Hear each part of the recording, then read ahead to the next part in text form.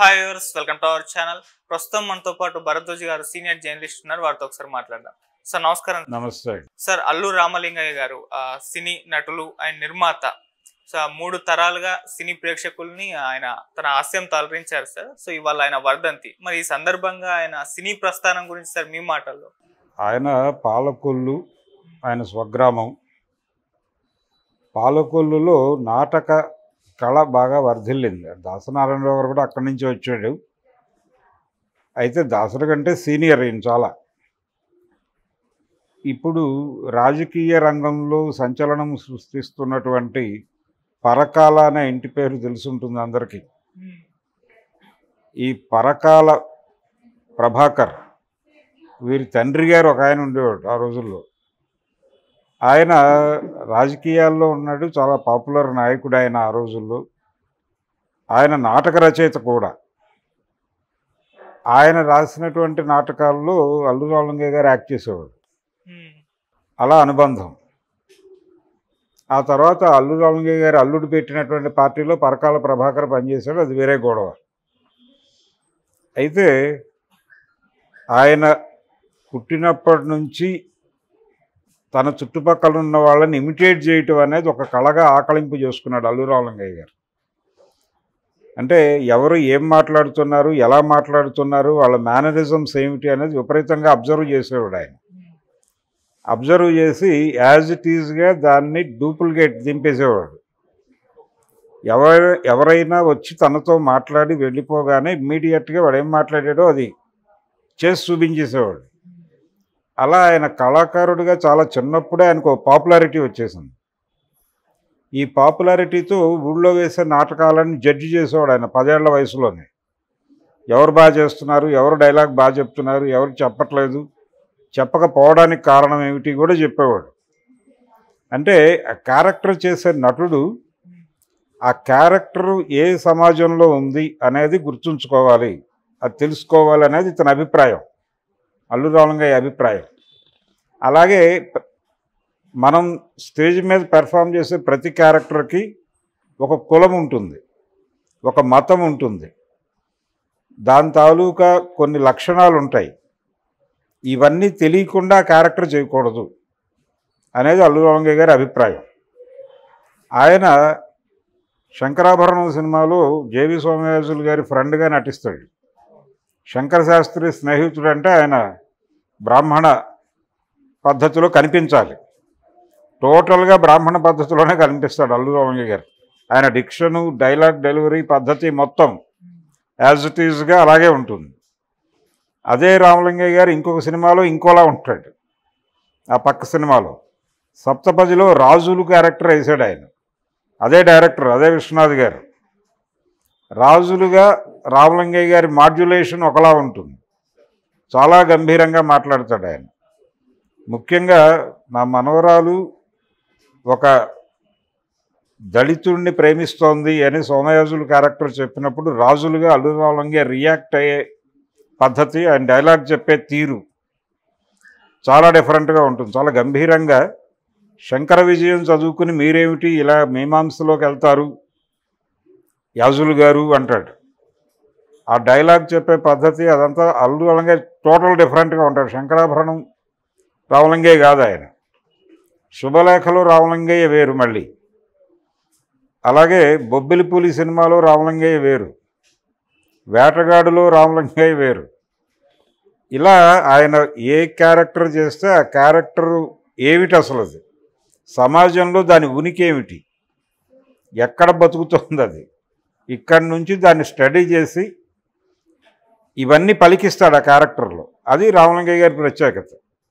అలా ఆయన చిన్నప్పుడు వాళ్ళ ఊళ్ళో భక్త ప్రహ్లాద అనే నాటకం వేస్తుంటే చూసి అందులో బృహస్పతి క్యారెక్టర్ చేస్తున్న కుర్రాడు సరిగా యాక్ట్ చేయట్లేదని ఆ క్యారెక్టర్ అతను చెడగొడుతున్నాడు నా నాతో వేయించోనా కాంట్రాక్టర్ని అడిగాడు ఈయన. నీకు ఆ క్యారెక్టర్ ఇవ్వనన్నాడు వాడు. మూడు రూపాయలు లంచం ఇస్తానని చెప్పి మూడు రూపాయలు లంచం ఇచ్చి ఆ క్యారెక్టర్ చేసి తన్ని తాను ప్రూవ్ చేసుకున్నాడు ఆయన. అలా రంగస్థలం మీదకి వెళ్ళిన తర్వాత ఈ పరకాల పట్టాభి గారు వీళ్ళందరి నాటకాల్లో చేస్తూ పినిశెట్టి శ్రీరామూర్తి గారు కూడా ఆ ప్రాంతానికి చెందినవాడే. ఆయన నాటకాల్లో కూడా ఇంకొక క్యారెక్టర్ ఉండేది. ఇలా మొదలైన సందర్భంలో ఈయన్ని గరికపాటి రాజారావు గారు స్టేజ్ మీద చూశాడు. చూసి ఈ పరకాల వారి నాటకంలోనే పెళ్ళిళ్ళ పేరయ్య క్యారెక్టర్ చేశాడు ఆయన. చేస్తూ ఉండగా ఇది ఇలాంటి క్యారెక్టర్ ఉంది నా సినిమాలో. పుట్టిల్లు అనే సినిమా ప్లాన్ చేస్తున్నాడు ఆయన గరికపాటి రాజారావు గారు. ఓకే. ప్లాన్ చేస్తూ అందులో ఆ పెళ్ళిళ్ళ పేరయ్య క్యారెక్టర్కి ఇతనైతే బాగుంటాడు అని చెప్పి ఇమీడియట్గా అప్రోచ్ అయ్యాడు. ఏమైనా నీకు ఇంట్రెస్ట్ ఉందా? నేను సినిమా తీస్తున్నాను అని. గరికపాటి రాజారావు గారు అంటే ఆ రోజుల్లో ప్రజానాట్య మండలి నాయకుడు ఆయన చాలా పాపులరు డాక్టరు సినిమా యాక్టరు అన్నీ. ఆయన ఆయనంతటి వాడు అవకాశం ఇస్తున్నాడు అనేసరికి రామలింగయ్య గారు మీతో పాటు వచ్చేస్తున్నాను నేను అన్నాడు ఆయన. జమున గారికి కూడా అదే మొదటి సినిమా. జమునకి అల్లూరు రామలింగయ్యకి వీళ్ళిద్దరికీ అదే మొదటి సినిమా. అలాగే కృష్ణ గారి మేకప్ మ్యాన్ మాధవరావు కూడా ఆయనే గురువు గరికపాటి రాజారావు గారే. గరికపాటి రాజారావు గారి శిష్యుల మీద ఆయన ప్రభావం ఎలా ఉండేదంటే జమున గారు చనిపోయే వరకు ఇప్పుడు ఉందో లేదో నేను చెప్పలేను కానీ చనిపోయే వరకు ఆవిడ ఇంట్లో ఎంటర్ అవగానే రాజారావు గారి ఫోటో ఉండేది పెద్దగా. అలాగే కాకరాల గారి ఇంట్లో కాకరాల గారి ఇంట్లో కూడా గరికపాటి రాజారావు గారి ఫోటో చాలా పెద్దది ఉంటుంది. అలాగే కృష్ణ గారి పర్మనెంట్ మేకప్ మ్యాన్ మాధవరావు గారి ఇంట్లోకి ఎంటర్ అవగానే రాజారావు గారు కనిపిస్తాడు అల్లు రామలింగయ్య గారి గెస్ట్ హౌస్లో కూడా రా గరికపాటి రాజారావు గారి ఫోటో ఉంటుంది పెద్దది. ఇంత ప్రభావం వేశాడు ఆయన శిష్యుల మీద. అలా రాజారావు గారి ద్వారా సినిమాల్లోకి ప్రవేశించిన తర్వాత ఆయనకి హెచ్ఎం రెడ్డి గారు మంచి వేషమే ఇచ్చాడు.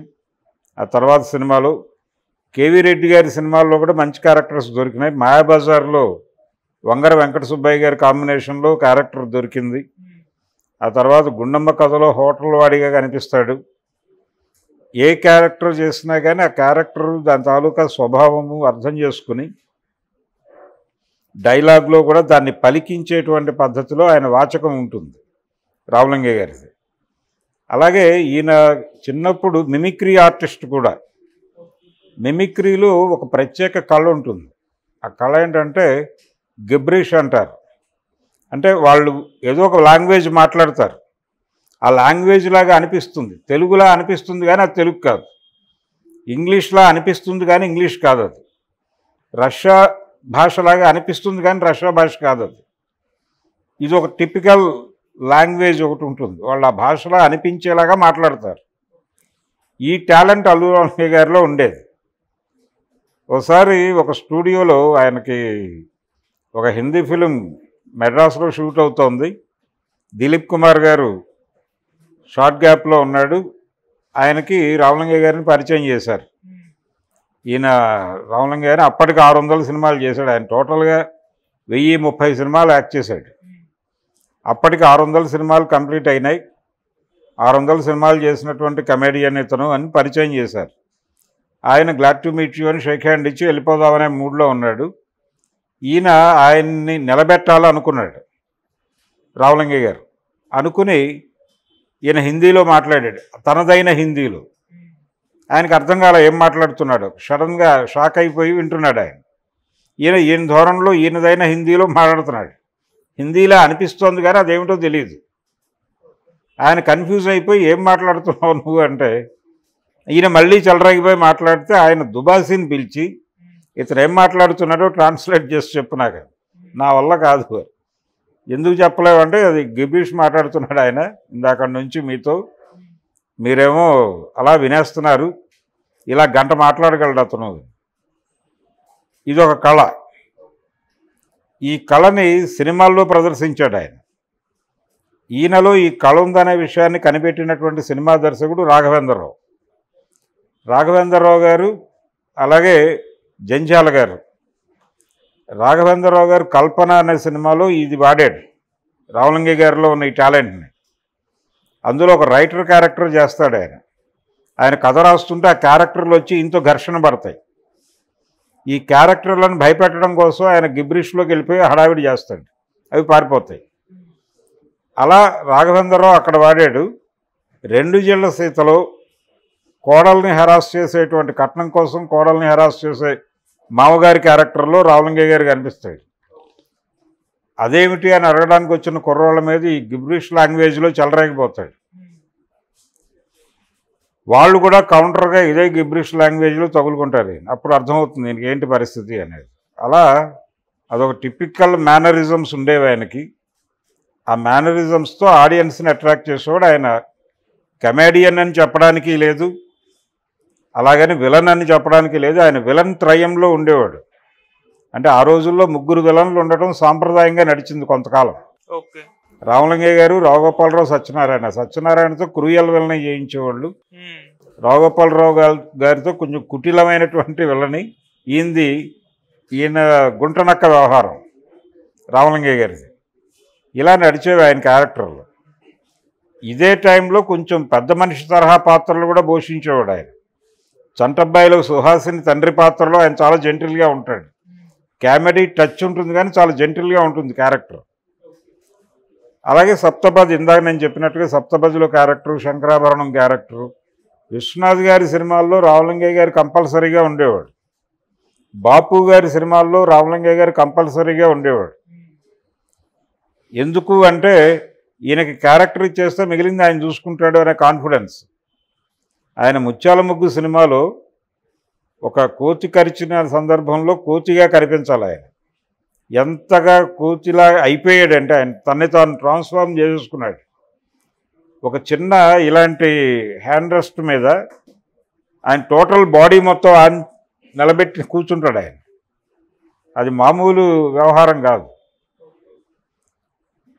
అనుకరణ అనేది ఆయనలో జీర్ణించుకుపోయిన కళ. ఆ కళ ఉండటం వలన ఆయన అలాంటి షార్ట్స్ ఈజీగా చేసేవాడు. అది ఆయన టాలెంట్. అలాగే కామెడీ టైమింగ్ డైలాగ్ టైమింగ్ చాలా అద్భుతంగా ఉండేది ఆయనది చిరంజీవి కాంబినేషన్లో ఆయన చేసినటువంటి రౌడీ అల్లుడి సినిమాలో డైలాగ్ ఉంటుంది. బొంబాయిలో ఇంతే బొంబాయిలో ఇంతే అది అద్భుతంగా పేలింది ఆ టైంలో. అంటే ఏ డైలాగ్ అయినా సరే ఆ టైమింగ్లో క్యారీ చేసేవాడు ఆయన. అది ఆడియన్స్ది భూతపదంగా మారిపోయేది ఆయన చెప్పిన తర్వాత. అలాగే అందాల రాముడు సినిమాలో ఆయన తీతా క్యారెక్టర్ తీసేసిన తహసీల్దార్ తీతా అంటాడు. ఆమ్యామ్య లంచానికి పర్యాయ పదం ఆమ్యామ్య అనేది ఆయన మేనరిజమే రావలింగ గారి మేనరిజమే. ఇలా రకరకాలుగా జనాలతో రోజువారీ జీవితంలో కలగలిసిపోయినటువంటి నటుడు ఆయన. ఆయన్ని ఒక మూసకి కట్టి ఒక ఘాటన కట్టి చెప్పుకునే నటుడు కాదు ఆయన. టోటల్గా తెలుగు నటుడు. వెయ్యి నూట పదహారు చిత్రాలు నటించాలనేది ఆయన టార్గెట్ వెయ్యి ముప్పై చేశాడు ఆయన. చివరి రోజుల్లో ఆయనకి క్యారెక్టర్స్ వచ్చేవి కానీ అరవింద్ గారు వద్దని చెప్పేవాడు. వద్దు ఏజ్లో యాక్ట్ చేయడం కరెక్ట్ కాదు అని చెప్పి ఆపేసేవాడు. కొన్ని క్యారెక్టర్లు ఆయన దాకా వెళ్ళకుండా కూడా ఆపేవాడు. నా బొచ్చులో రాయేస్తున్నాడు నా కొడుకే అని చెప్పి ఆయన బయట మాట్లాడేవాడు. రామలింగయ్య గారు. ఈయన ప్రొడ్యూసర్ అవడం కూడా ఆయనకి ఇష్టం లేదు నిజానికి. ఏదో ఒక ఉద్యోగంలో కుదురుకుంటే చాలు తన కుమారుడు అనుకున్నాడు ఆయన. కానీ ఏదో ఒక వ్యాపారం చేయాలి అనే కార్యక్రమంలో అరవింద్ గారి ఆలోచనలు ఉండేవి. ఆ టైంలో దాసరి గారు అంటే గురువు ఎక్కువ ఉండేది ఆయనకి రామలింగయ్య గారికి. దాసరి గారు చెప్పాడు ఒక ప్రయత్నం చేయని అది ఫెయిల్ అయితే అప్పుడు ఎలాగూ నీ మార్గంలోకి వస్తాడు కదా. ఏదో అనుకుంటున్నాడు చేయని అని చెప్పి శివాజీ గణేషన్ గారి తంగ పథకం సినిమాని బంగారు పథకం అనే పేరుతో తెలుగులో డబ్ చేశారు. దానికి రామలింగయ్య గారి ఫ్రెండ్స్ కూడా డబ్బులు పెట్టారు. అది పెద్ద హిట్. తెలుగులో వంద రోజులు ఆడింది ఆ సినిమా. దాంతో అరవింద్ ప్రొడ్యూసర్గా నిలబడ్డాడు. ఆ తర్వాత గౌరవం అనే సినిమా శివాజీ గారిది. ఆ సినిమాని తెలుగులో గౌరవం అనే పేరుతోనే డబ్ చేశారు. అది కూడా సక్సెస్ఫుల్గా వెళ్ళింది. ఆ తర్వాత బంట్రోతు భార్య అనే సినిమా స్ట్రైట్ సినిమా దాసరి గారి డైరెక్షన్లోనే చేశారు. ఆ తర్వాత అదే దాసరి గారు అదే అరవింద్ కోసం దేవుడే దిగువస్తాయనో సబ్జెక్ట్ చేశాడు. చాలా అద్భుతమైన టాపిక్ అది. అంటే కృష్ణుడు ఇప్పుడు ప్రపంచం ఎలా ఉందో చూద్దామని వస్తాడు. వస్తే ఈ ప్రపంచంతో కృష్ణుడు పడ్డ కష్టాలు ఏంటి అనేది సినిమా. రామకృష్ణతో జయించారు. కృష్ణుడి క్యారెక్టర్ సత్యనారాయణ క్యారెక్టర్ ప్రధానం. రామలింగయ్య గారి సినిమాల్లో సత్యనారాయణ గారికి ప్రత్యేక పాత్ర ఉండేది. వాళ్ళిద్దరికి మధ్య ఫ్రెండ్షిప్ బాగుండేది. వాళ్ళిద్దరికి కలిసి వ్యాపారాలు కూడా ఉండేవి మెడ్రాస్లో. మెడ్రాస్లో ఒక ప్రివ్యూ థియేటర్ ఉండేది వాళ్ళకి. ఇలా ఆయన తన సినిమాల్లో సత్యనారాయణకి డెఫినెట్గా క్యారెక్టర్ ఉండేలా చూసుకునేవాడు. శుభలేఖ సినిమా టైటిల్స్లో మా సత్యనారాయణ అని పడుతుంది. ఇప్పుడు కూడా చూడొచ్చు యూట్యూబ్లో. మీ చిరంజీవి మా సత్యనారాయణ అని పడుతుంది. అంటే అల్లుడు చిరంజీవి బయటపడే సత్యనారాయణ మా బ్రదరు అనేది ఆయన ఉద్దేశం.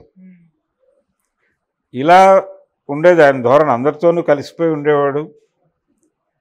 అలాగే నిర్మాతల పట్ల చాలా బాధ్యతగా ఉండేవాడు ఆయన. డబ్బులు సంపాదించటం కూడా చాలా సిస్టమేటిక్గా ఖర్చు పెట్టేవాడు ఆయన. పిసినారితనం అని ప్రపంచం అనుకునేది కానీ తన జాగ్రత్తలో తాను ఉండేవాడు. అంటే ఏ నెలైనా ఇల్లు గడవాలంటే అడ్వాన్సులతో కథ నడిపించేసి ఒరిజినల్ ప్రైమ్ అమౌంట్ అక్కడే ఉంచేవాడు.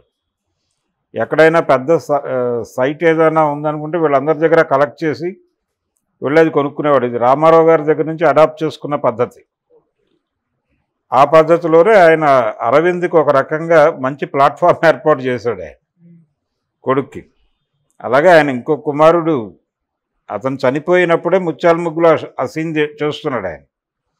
అది ఆపేసి వెళ్ళిపోదాం అనుకున్నాడు. ముళ్ళపూడి వెంకటరమణ గారు కూడా చెప్పాడు వద్దని.